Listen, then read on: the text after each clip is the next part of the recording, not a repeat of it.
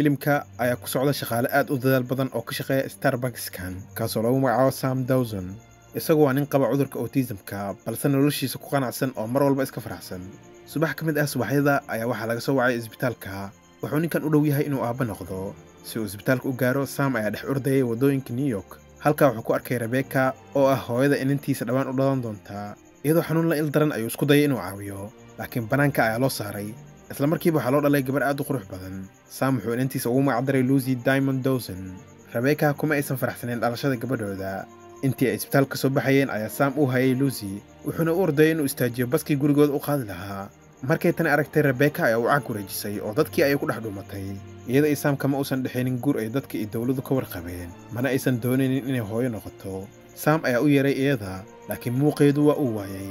Isagoo yaaban ayuu cunugtiisa watay oo wuxuu qabsaday bas inkastoo xaaladiisu ay cakrineed haddana sam wuxuu isku dayayay inuu noqdo aabbo wanaagsan. Xitaa habeenkii saqdhexe ayuu soo toosayay isagoo inantiisa xafaayadda ka beddelaya.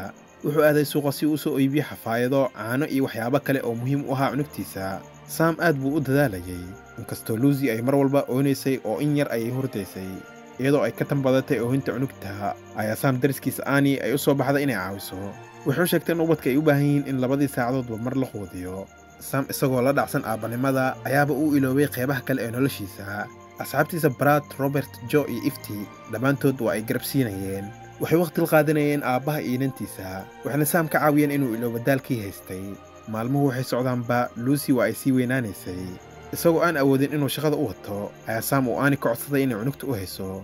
Iyadoo markii hore diidaneed ayaa aani ay ugu dambayn ogolaatay luusi ayaa kortay oo gabarh aqli badan ayay noqotay. Waxay mararka qaar saam weydiinaysay su'aal uusan si sax ah uga jawaabi karin. Waxay mar weydiisay hooyadeeda taas oo u jawaabi waayay laakiin waa iska boojeenayay. Rebeka kadib markii ay luusi dhashay waxay si cad saam ugu sheegtay inaysan weligeed rabin inay isaga carruur u dhasho oo dib dambena aysan ugu soo socon. Luusi waa ay jecleed aabbaheeda wuxuuna mar walba u raaci jiray beerta si ka duwan aabbayaasha kale labadoodu xirro qurux badan ayaa ka dhexeeyey maqaayadda ihob ayaa arbaco walba ka soo cunteeyaan. Waa ay kaftamaan oo markay hordaysana sheeko carruureed ayuu uga sheekeeyaa. Markay luusi iskuulka bilaabaysay sam iyo asxaabtiisu waxay inanta u wadeen inay alaab u soo iibiyaan maadaama uu dakhligiisu hooseeyo. Sam waa uu awoodi waayey inuu lacagta wada bixiyo iyagoo tani arkaya asxaabtiisu kama aysan labalabeen inay caawiyaan. Asxaabtan iyagoo faraxsan oo buufino wato ayay soo baxeen inkastoo iyadoo ay carruur ahayd haddana luusi waxay ahayd inaan akhli badan oo aabbaheedu ma aysan la murmi jirin waxay mar codsatay in loo kaxeeyo maqaayadda bobis big boy beddelkii ihob si ay uga soo cunaan hambeegar qaali ah. Laakiin markay aragtay inuusan aabbaheedu awoodin ayay iska dhaaftay. Saam wuxuu mar walba garab istaagaa inantiisa. Iyadoo mar iskuulka khudbad ka jeedinaysa ayaa saam u yimid. Markaas luusi waxayba ilowday khudbadeeda. Luusi waxay la saaxiibtay wiil lagu magacaabo konor oo dhib badnaay muddo aan dheerayn kadib luusi waxaa iskuulka laga soo siiyey buug cusub si ay u akhrisato. Waxay saam ka codsatay inuu akhris ka caawiyo laakiin isagu maadaama uu cudurka autismka qabay aad ay ugu adkeed inuu wax akhriyo. Iyadoo ayaa markaas caawisay oo u akhrisay dhowr eray. Maalin isagoo maqaayad jooga ayaa waxaa u yimid naag jirkeeda ganacsata. Labadoodu sheeko wacan ayaa dhex martay maadaama uusan saam dhib u arkaynin inuu la hadlo haweenaydan dhacdadan waxay horseeday in saldhigga booliiska la geeyo halkaas oo shaqaale ka socday waaxda daryeelka carruurta iyo qoysaska ay isagoo aragtay waxay ka walwashay xaaladda inantiisa waxayna aamintay in isagu uusan ku habboonayn inuu waalid noqdo.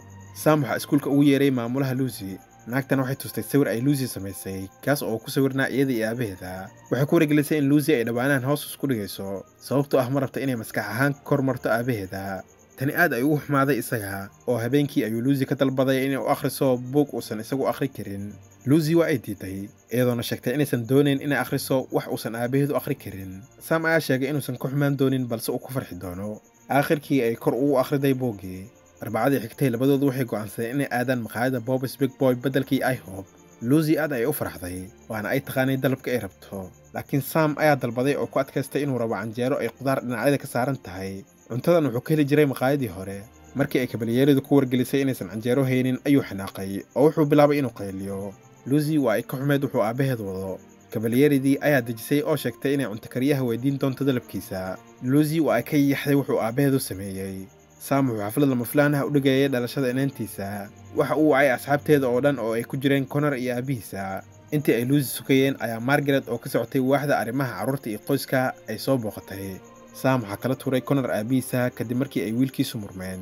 Isagoo xanaaqsan ayaa konor uu si cad u sheegay in luusi ay dhammaan asxaabteeda u sheegtay in saam uu soo korsaday oo uun ahayn aabbaheeda dhabta ah. Markay aragtay foodadan iyo sidii uu saam ula dhaqmay cunuga yar ayaa margaret ee darantay in ninkan uusan mas'uuliyad waalidnimo qaadi karin. Luusi waa la watay oo aabaheedna waa la dacweeyey. Garsooraha ayaa saam u sheegay in wixii hadda ka dambeeya keliya loo ogolaan doono inuu luusi la kulmo laba jeer toddobaadkii oo mid laba saacadood ah ilaa iyo inta ay kiiskiisu maxkamadda dib u eegayso saam waa uu ooyey wuxuuna dalbanayay inuu inantiisa wato laakiin waa laga diiday oo waxaa loo sheegay inuu iska baxo.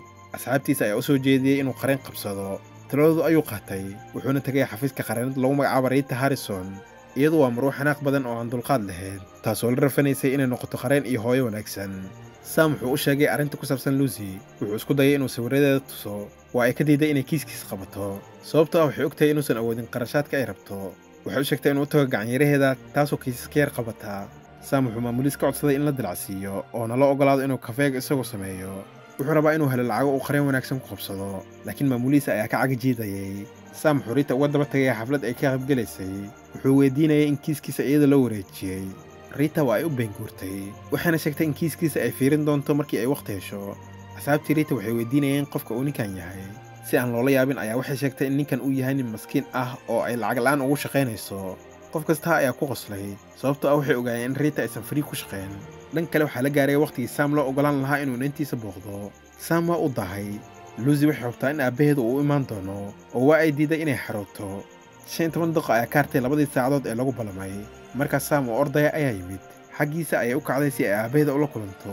Qoyskan waa ay wada fadhiisteen. Luusi waxay ku xumeyd wixii ay samaysay waxay sheegtay in aanay weligeed heli doonin aabba kale oo aan isaga ahayn. Wuxuu u sheegay inaysan ismurjin oo wax walba xalin doono. Saam waxaa soo gaartay warqad ay maxkamadda soo dirtay maadaama uusan aqri karin wuxuu tagay xafiiskii riita waxay markii hore isku dayday inay iska indhatirto laakiin markay aragtay asxaabteeda oo xamanaya ay si bilaash ah ku qabatay kiiskii saam.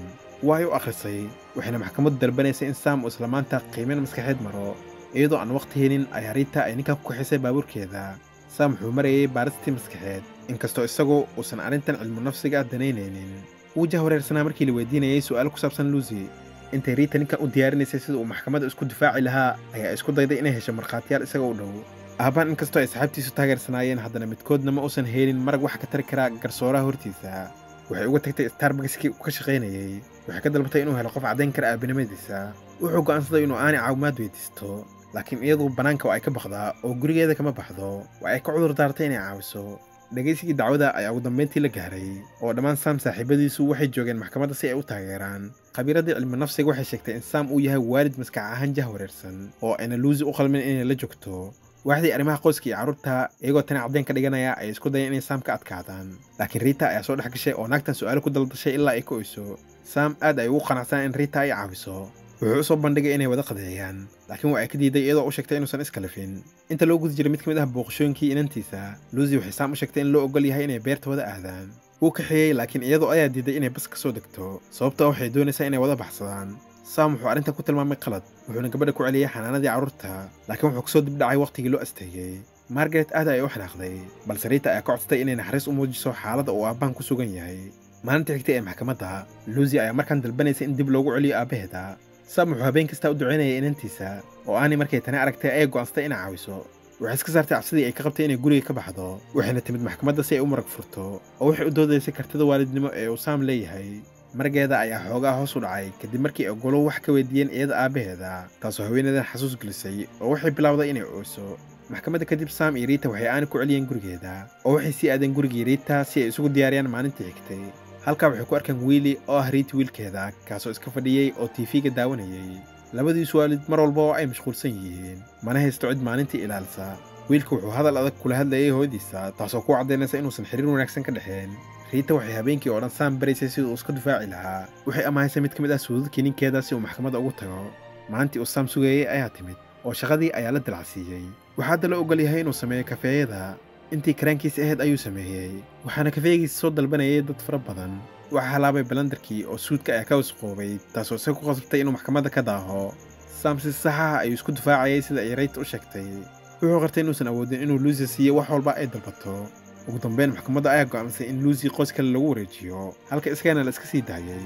Intii ay ismacsalaameynayeen luusi iyo saam waa ay kala tegi waayeen xiriirkoodu aad ay u wanaagsanaa. Tani waxay keentay in luusi ay marka hore cadaawad u qaaddo qoyskan lagu magacaabo foster oo iyada loo geeyey laakiin wakhti kadib waxay bilowday inay u dhowlo caddayso dhan kale saam gebi ahaan waa uu niyad jabay wuxuuna ka baaqday kulamadii uu luusi la lahaa. Riiti ayaa timid guriga sam laakiin ninkan ayaa albaabka hoos ka soo xirtay. Iyadoo u dulqaadan la ayay albaabkii laaday oo ay furtay. Waxaa aragtay isagoo gidaar gadaashiis ku dhumanaya. Waxay ka baraday inuu ogolaado inay caawiso. Sam ayaa diiday isagoona sheegay inuusan iyada oo kale u hadli karin tani waxay ka caraysiisay riita sababtoo ah iyaduba nolol quman ma haysato oo ninkeeda ayaa qiyaameeyey asxaabteedu ma jecla wiilkeeduna waa uu necab yahay iyada waxay bilowday inay ooso sababtoo ah waxay dareemaysaa in nolosheedu ay isku dhammaatay sam ayaa isku duubay iyada si uu qalbi qaboojiyo. Kadib markii ay wada hadleen sam ayaa bilaabay shaqo dheeraad ah si uu lacago badan u sameeyo. Wuxuu mar kastaa booqanayay luusi hooyada qoyska foster ayaa weerartay markii ay aragtay luusi oo oynaysaa sam wuxuu qalbi dejinayay inanta oo wuxuu sheegay inuu aad u jecel yahay. Riita waxay mar kale dib u furtay kiiskii sam waxay dalbanaysay in aabbaha inantiisa loo soo celiyo. Laakiin margaret ayaa soo dhex gashay oo ku wargelisay in qoyska foster toos loogu wareejiyey cunugta. Riita waxay soo jeedisay in qoyska foster iyo isagu uu cunugta ka wada dhexeeyo. Sababtoo ah maxkamadda fursad fiican kama haystaan. Markay aragtay isagoo oonaya ayaa riita ay bilowday inay ka daba oyso. Sam wuxuu isku dayay inuu u dhowaado luusi wuxuu degay abaartament u dhow gurigii qoyska foster si uu maalin walba inantiisa u arko habeen habeenadii ka mid ah luusi waxay ka soo baxsatay daaqadda qolkeedii jiifka. Waxay adday abaartamentigii sam isagoo ku faraxsan inuu arkay iyada ayuu dib ugu celiyey guriga qoyskii foster. Inantan habeeno badan ayay sidaan samaynaysay taasoo niyad jibisay randi oo ahayd hooyada qoyskan foster. Luusi waxay caado ka dhigtay inay habeen walba dhumato inkastoo sam uusan ku taageersaneen marka qoyska foster ay xeendaab ku xireen daaqadeeda ayaa gabadhu ay isku dayday inay ka baxdo albaabka weyn balse waxaa qabtay randi waxay inanta siisay keeg yar iyadoon u sheegtay in aabbaheedu ay la kulmi karto mar kasta ay rabto balse ay keliya iyada ku wargeliso. Luusi waxay maalinba maalin ka sii dambaysa u sii dhowaanaysay aabbaheeda taasoo keentay inay ka fogaato randi iyo qoyskeeda. Riita iyadoo wiili la socota ayay timid gurigii cusbaa ee sam iyagoona isku diyaarinaya inay mar kale maxkamadda ku laabtaan suud kale ayay amahaysay sam rajo fiican ayuu markaan lahaa. Riita aad ay ugu faraxsaneed inay kiiskan u doodo habeenkaas iyadoo sam uu hurdayo ayaa albaabka la soo garaacay isagoo yaaban ayaa rendi oo luusi oo hurdaysa wadda timid. Naagtan ayaa oysay oo waxay luusi ku wareejisay sam waxay qaratay inaysan weligeed luusi siin karin jecel la mid ah kan uu isagu siiyey wuxuu ballan qaaday inay garabkiisa ahaan doonto maxkamadda sam ayaa qirtay inuu ayadu ku kalsoonaa. Wuxuuna sheegay inuu weligiis barbay inay luusi hooyo yeelato. Wuxuu iyada ka doonayaa inay hooyadaas u noqoto. Randi ayaa oysay oo dalabkiisa ayaa aqbashay iyadoo aan ka labalbeen sam ayaa ugu dambayntii la wareegay luusi taasoo ahayd inan qurux badan oo akhli u saaxiib ah filimka ayaa ku dhammaanaya luusi oo dheelaysa kubad halkaas oo ay ka soo qayb galeen sam rendi iyo ninkeeda rita willi iyo dhammaan asxaabtii sam. Magaca filimku waa iam sam oo soo baxay sannadii labada kun koodii sabskraib saar kanalkan oo gambale ka furo si aad u hesho muuqaalo badan oo kanoo kale ah. Waadna ku mahadsan tahay daawashadaada